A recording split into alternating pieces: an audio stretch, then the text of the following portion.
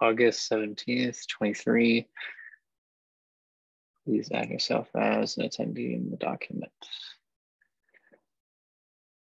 Okay, for today, um, let's do a quick catch up on our post V1 tracking. So, I think you added this, so let's see here. All right, first point. So PR for script around graphing. I think is Lubo working on, oh no, you're working on this, okay. So, and this uh, is the one Lubo's working on. Yeah. Yeah, Lei, you wanna go ahead and talk about this? Uh... Yeah, sure.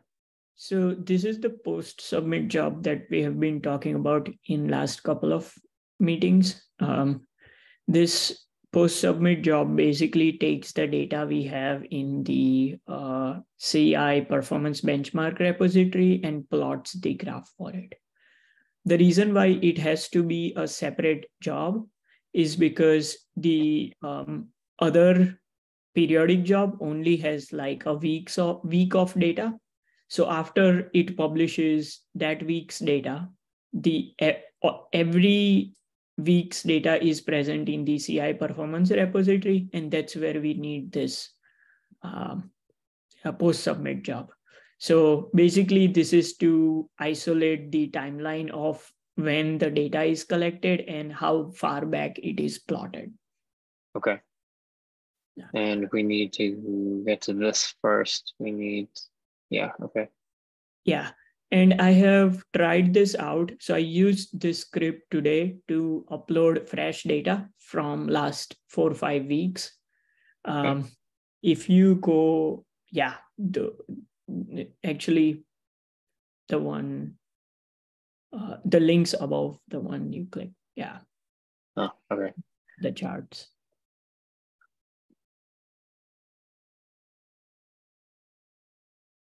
Ah, okay. Yeah, so from now on, once those two PR merges, we will we will be able to review this graph in automated way. So great. Basically, it won't have to do any work for the charts to show up. Okay, that's great. Okay. Yeah. Yep, uh, we haven't looked at these in a little while. I think I was just going to scroll through them and see if there was anything strange. So I think these are the strange ones. Uh, if you scroll a little bit up, so we we reviewed this in June, July last time when mm-hmm. we saw the uh, patch counts uh, go down a little bit, but they have uh, come back to normal now, the patch VMI count. Uh, and if you scroll up, there is one more chart like this. This yeah. one. Yeah, the get endpoints. Okay.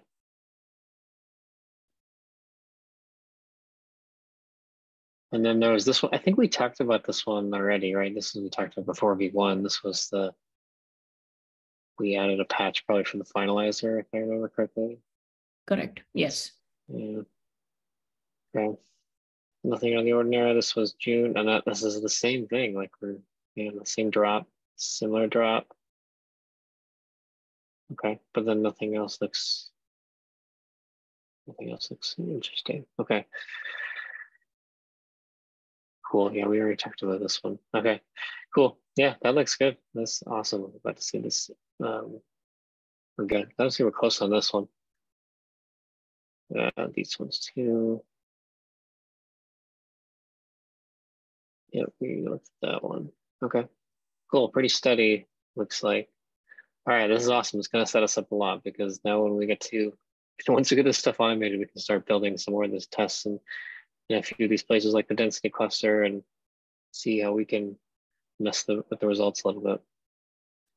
Cool. Uh, actually, the density cluster one, it has uh, some, well, not anomalies, but it looks like for a lot of early July, the density cluster jobs were broken. Yeah. And I know. I think like we need, yes, yeah. yeah. I, this data, like for, yeah, I mean, let's, uh, this is kind of one of the ones where, like after the new year, I wanted to see where it goes because we just, we, we basically, I think this was the rebuild, like somewhere in here, Brian did the rebuild to upgrade Kubernetes to a new version and it was completely offline during this time. No, not that, right? Recent ones. So July 2023. Yeah. It's yeah. Uh, um little bit right. Yeah. From July 3 onwards, we saw okay. no job reports until July 15th or something. Yeah.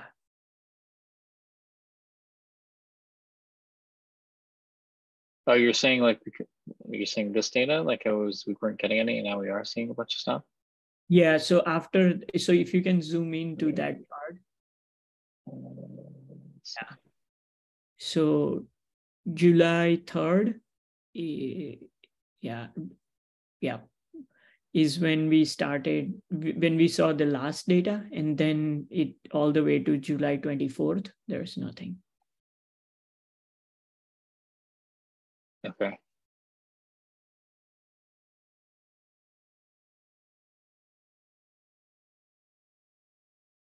Yeah, so something happened in in between those that the jobs were not reporting data. Yeah, I think I okay. I mean, I we need to. I mean, I the the density cluster needs some more love. Like it just we haven't we've been focused on other things. So I mean, as far as like I'm concerned, like what I was saying with this data, like these holes here, like this holes, hole here, and you know, the one back in July, like we, we, we it's totally different than what we have for the periodic, where you can clearly see trends. This one, it's like I, we're not getting a good trend line here. This is, so I, that's where, that's what I mean. It's like I, I'm kind of thinking about it as like we, at some point we need to look at this as like from January forward or whatever, because I I don't know how to read this data. This is too random. Yeah, makes sense. So I we probably need to spend some time to in the future when we have all the stuff automated to do some work on the dedicated job. See if we can get some more get some get a trend line out of this. Okay, cool. All right, that's awesome, Malay. So script is looking good, it's working. And um, okay, so you just need some reviews on this one and then and then we should get that in and then we can looks like we can then just wire it up to this and um, okay, so that covers those. It's just those two PRs, right? I think 293, 2931, yeah. Okay, and then that gives us what we need for um, for the job. So then what's this one? Let's go to the last one here. So this is a PR that um, that came to my attention while the API review work. Um, mm -hmm. And so basically, this PR proposes that we introduce a shadow node, a new CRD, where um, we will basically write everything to that shadow node and um, the actual node will only have read-only access. So that prevents um, uh, security, that addresses some security concerns um, by introducing a, a new CRD.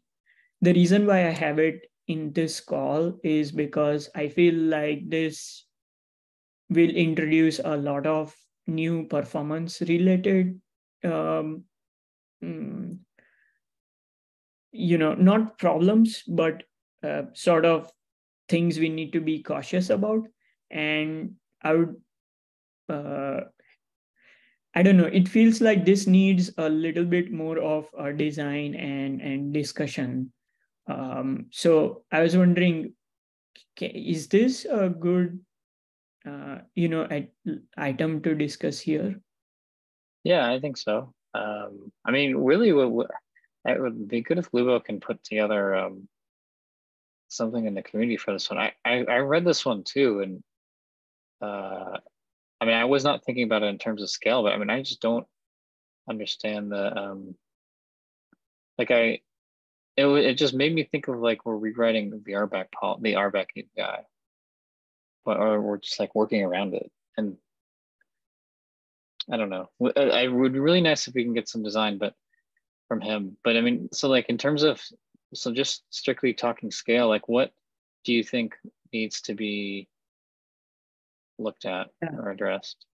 So for scale, here's what I'm thinking, right? Our uh, list calls will be doubled because we have to watch, well, we have to watch the uh, the node objects because they are read only. And in, in order to shadow it, we will also have to watch the um, uh, shadow node, right? So our list calls will be, um, sorry, list watch, I call them together. They'll be doubled um, the writes that the system makes. So any write that is made to the node API will also have to be followed through on the shadow node API in order for them to be consistent. So even the writes and updates will, uh, I don't know if it, they will be doubled, but definitely uh, we'll have more load uh, on the updates. So um, these both will affect scalability in large scale clusters. And that's why I wanted to have some kind of design um, and brainstorming. Um, like what will we do to validate performance and scalability issues once this work is taken on? Mm -hmm.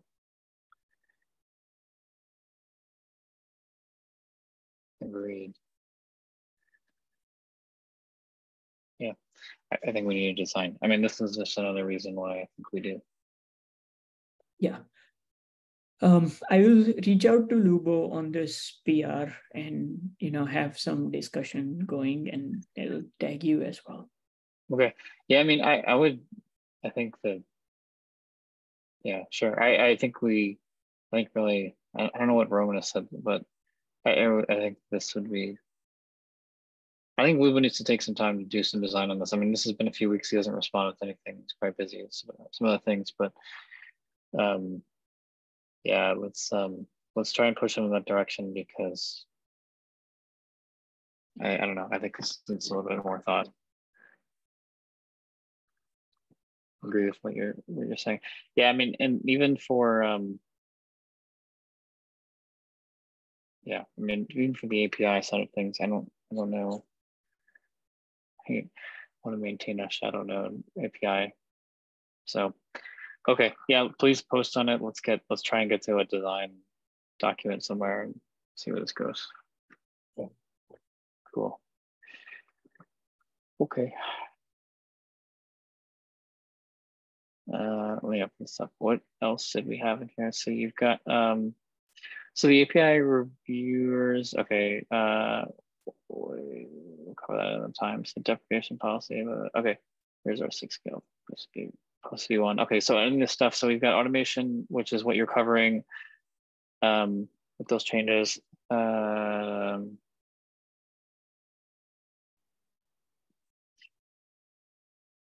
yeah, I think that one needs um, attention next. Okay, I haven't had a chance to look at this. Okay. Oh, this is the issue. Okay, I thought this was a pull request. Okay. I, I need to um, add a section to the doc for tooling. Um, that's something I'll pick up next once the post submit job is um, merged. Cool. Okay. Um, all right. We got a plan then. I can take a look at this after the call. This PR and this one. Okay, sounds good. Okay. All right, let's see, any other topics? Anything else to discuss? Otherwise we'll end early. Um, so some updates regarding the um, simulation. Mm -hmm. uh, so last time I demoed, well, last time I talked about a controller to add watch requests that okay work is going on. And um, right now, with that POC, we can see that, let's say, if you add 400 nodes, it will create 400 into 20, which is around 800, well, more, 8,000 uh, watch requests.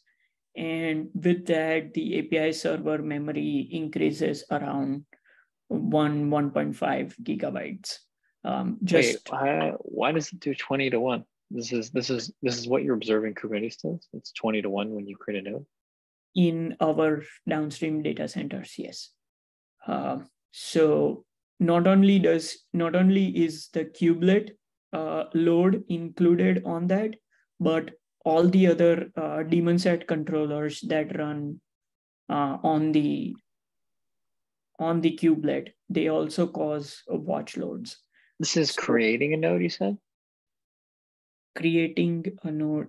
So for example, when you start a kubelet, yeah, creating a fake node.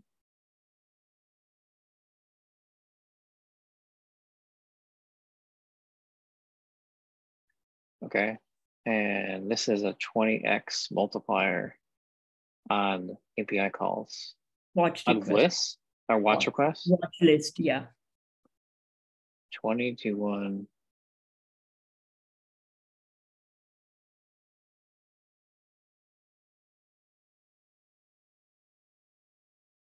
Yeah, so now the question is what resources are used for that list watch, right? So it depends on different things. Uh, Kubelet uses nodes, pods, uh, um, PVCs, PV, secrets, and other two things. Um, CSI. And so when in this, I'm still on this topic. Sorry, I'm like, does when I'm assuming the so we so this is our downstream. Maybe this is where you're going. So like you're, you're trying to identify all the places that are that are where this 20 is coming from. Is that what you're listing out? No, I already have identified that. That's oh, you already have them. Okay. Yeah, I I just added them up so it's concise. But uh, let me.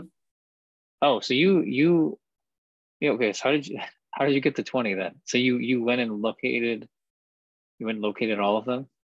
Yes. So what I did was I have an Excel sheet which looks which is coming from audit logs and so how many of these are upstream components of the 20 and how many are not i need to um, classify them for now i have not classified them as upstream and downstream components they are just classified as what resource those requests are going to okay that would be interesting. I mean, because we should. This is one of the things. Like when we look at um, this is one of, was one of our problems when estimating scale is that is that we need to. So like it was two things. Is that one is we need to know the weight or the cost of a list watch request, whatever that is. We can classify it in memory, CPU, whatever it is, um, or some other unit that we make up. And then the other one was how many of these things get created when when something happens in the cluster. So it looks like you've already got, it sounds like you've got pretty close to both for just like create node, which is really interesting because that would be so, that would be really interesting uh, topic to talk about, especially in the Kubernetes SIG scale, because I wonder if they have this level of granularity or visibility in some of their and some of their metrics. Yeah. Because I'm when I talked to Wojtek previously, it was that there were some estimates about this stuff. And if we're able to get exact measurements, that would be tremendous because not only does it mean that we can do we can we can extrapolate with it, but it also means that we can probably do some heuristics with it. Yep. So I think okay, cool. the, the data coming from it is not uh, is not using the tools that we have discussed here.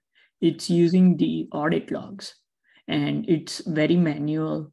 I had to go through all the requests and, you know, spend some okay. time uh, summarize. Those. So talk to me about then the problem. Okay. So then what are the, so the problems you're, so what, the way you're dealing with this is you are, you're scraping logs to then find the list requests, who's making the list requests, no, and so counting them. Is that what you're doing? No, actually, so when I mean audit logs, um, they are shipped to uh, Kibana, right? So mm-hmm. I'm making a table in Kibana which gives me the um, API resource on the um, rows and the number of calls uh, on the columns. So, and this is filtered by watch calls, right? So, so then I have all the API resources and I have all the watch calls made um, by different components aggregated into that table. And then I am simplifying it to just one call. So I assume that multi so this is filtered by again one node and one node is making multiple uh, calls. But in our simulation, I will just use one instead of many right when when creating because those watches can terminate and they can be restarted and and something and i i don't want to account for that. So the very base case is at least one call made um, during the creation. So that's how i got to this list. Okay.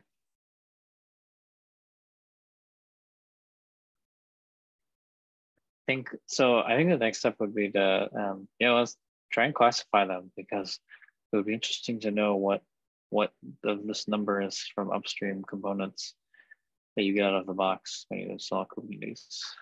So I, what would be the advantage of doing that? Um, it, from my understanding, those are the calls which are essential for working of those controllers. So we might not be able to reduce those calls no, we wouldn't. Well, I, I don't think so. But the um the point is, so it's two things: is that which of them aren't. So maybe we can reduce those, and which of them aren't upstream, part of upstream components, and and those maybe we might be able to remove those or whatever we want to do with them. And then the ones that are, then the value is, is that we know they need them, right? So that mm-hmm. this is this is what's going to this is what's going to add to our this is what's going to add up to our number right? Like where whenever we do something with a node this is the cost of it. And, and so the idea was that okay if if creating a node costs something costs i don't know we'll do a numerical value. It won't even do like a, a cpu value or anything. Costs five list watches. You know maybe that's the metric. How much does updating a node cost? Maybe it costs 10 list watches. Maybe it costs none, whatever it is. Like, a, what is the, how do these things, what's the cost of some of these things? That's what I'm wondering because when you start to look at the, what comes out of the box and you separate the two, now we can see, we can make assumptions about what the, the upstream infra is doing. And, and then we can start to extrapolate what are the really costly operations, which we kind of already know, but it's now we can put a number to it. It's not just like, oh, we know list watch is costly, or we know create a node is costly. We know exactly how much it costs. Okay, makes sense. Yeah, so I, I think we are on track for doing that. It, not upstream versus downstream. That's a good data point. I'll add that. But um, in terms of costs, right? So um, what I did was because we have these numbers 20 is to 1 multiplier i implemented mm-hmm. that number in the watch thread. So anytime a node is created that watch controller will create like 20 watch calls. And with that implementation we created 400 nodes. And the cost uh, result of that is the memory of control plane which was averaging around 4 gigabytes jumped to 5.1, 5.2 gigabytes. Okay. Uh, so immediately we saw the API server memory, control plane memory increase. And that's the actual uh, gain we saw from the simulation. So the, the point is that even though this is the means, the end goal is that adding a node actually increases the um, control plane resource utilization, and we saw that in the simulation. So the next step here is we're going to compare it with the actual real node, and if it is in the ballpark with like 30% or uh, uh, with some uh, misses, which we can tolerate for simulation, um, then this is good to go. Then the next step would be generating the same amount of load for VMIs. Okay, gotcha. Yeah, I mean, the way I would look at this, I would think it's almost it might be easier to approach it as like make up your own unit for this and, and make that as your cost. This costs list watches. This costs this costs something else, whatever, and then convert this later into memory and CPU because I almost I think that this cost and memory and CPU is going to vary per data center. Yeah. And number of API servers and, and lots of other things. Like this is going to be hard to actually compute. Whereas a list watch is constant. It's going to be across no matter what your infra is. So if you can do it this way, I think that would be a really powerful way to communicate it. And then and then there can always be some sort of way to translate it based on you know someone's data center hardware and other stuff like that. Actually, you know, I think even the list watch will be uh, varying per data center, right? Because so right now, uh, so let's say we have two KubeVirt clusters, the density mm-hmm. one and the performance one. And the density one uses a certain um, daemon set of uh, uh, no PVC provisioner, CSI provisioner that is not used by the performance cluster, then because of that little change, even though everything is upstream and, and open source, mm-hmm. that little change will uh, produce a difference in this list watch cost. Oh, so what I mean is um, um, list watch, the um, the metric a list watch will be consistent across all Kubernetes clusters, not like the number of them. Oh. Like you can use it, like you can use list watch in all cases when you're in Kubernetes land. Got it. Okay. So you're saying whereas like CPU and memory, it's not going to be, it's going to vary wildly based on topology and other things. Got it. So you're saying that if we can have a consistent way of measuring list watch, no matter how many deploy, how many components are deployed, in, in the cluster. If we have a standardized mechanism to measure the list watch uh, coming per node, then we can uh, say that, okay, if you are a user and if you want to estimate cost, here's the tool to um, measure the list watch per node. And then here's the tool where you plug in the result and simulate that. Yeah, exactly. Like we could I, you could have your cluster light. I could have mine. I might mm-hmm. get. I'm 18 to one on list watches. You're 20 to one.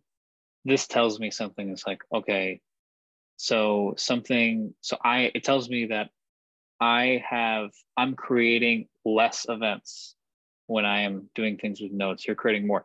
That can. It's totally. There could be. So now it takes out topology because now it's like, oh wait a second. Like there could be a lot of things that could influence that. That's fine but it just tells me that I'm I am I have less load that I'm putting on when I'm work when I'm using a node.